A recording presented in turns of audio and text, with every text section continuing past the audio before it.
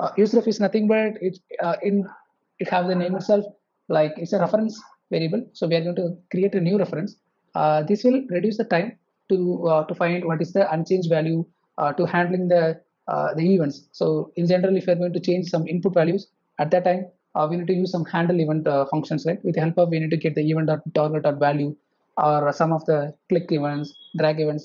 At all time we need to validate we need to write the synthetic event within the function so this if you are going to use useRef at that time we can we don't need to write any of the functions like that.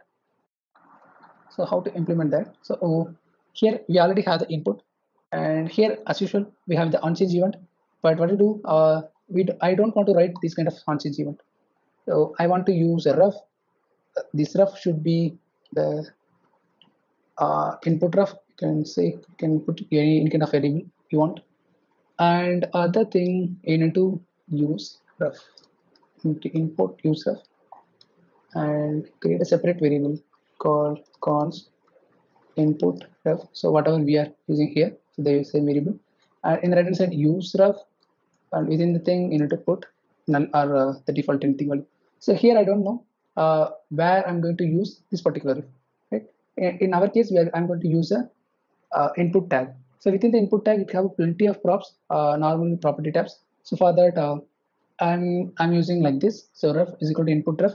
Uh, uh, that's all. This is the actual implementation. After that what i'm going to do i'm going to write on function. So you can say this may be the submit button or uh, any other any other button. So so in this button i want this input value. So in general what we do whenever the input is changed at that time the particular input value written. But in my case um, Uh, I, keep, I, I, may keep on typing input but it no need to store anywhere but whenever I click the submit button, at that time I will need a actually input value.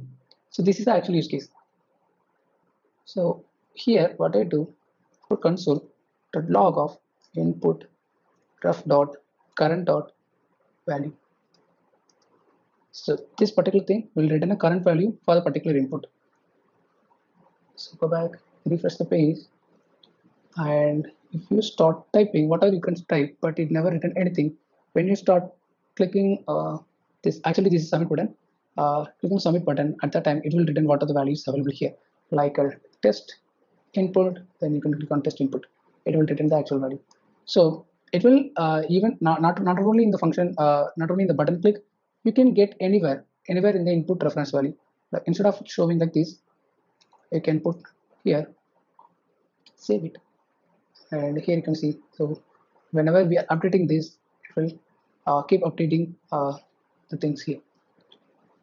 Uh, but you can ask the question, so why this input ref is not showing here? Or because we are not disturbing anywhere. We are not disturbing the DOM.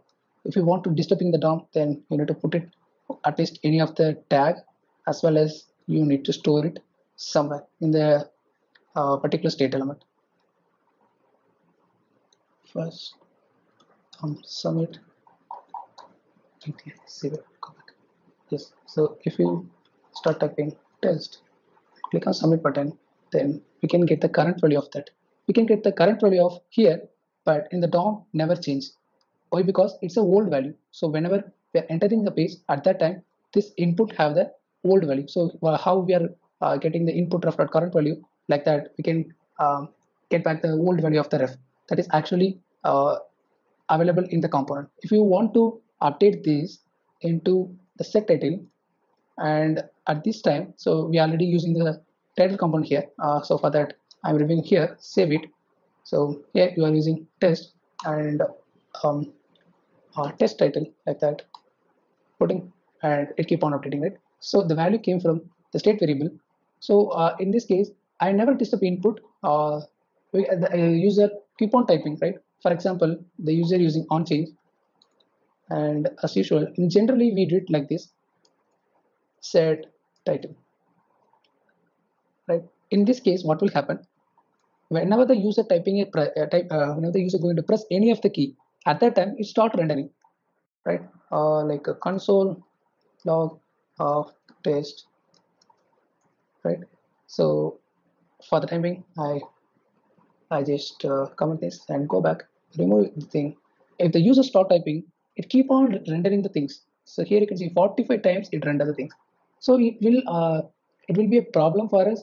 So I don't want this kind of uh, rendering. It, it should uh, render only one time, but the time should be the submit time. So at that time, how can I set the title? The title value is available in the input, but how can I get the value from out of the input? So that's the use case for this. So at that time, you don't need to maintain any of the events. You can go with the ref. And whenever you are going to submit a button at that time you can get the submit button.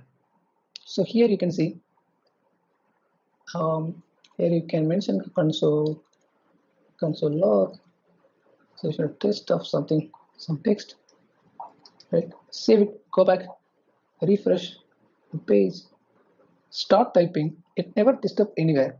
It never re-render anywhere the, so the page should be the should be fast and never disturb the performance. And when you click the submit button at that time it will start rendering right?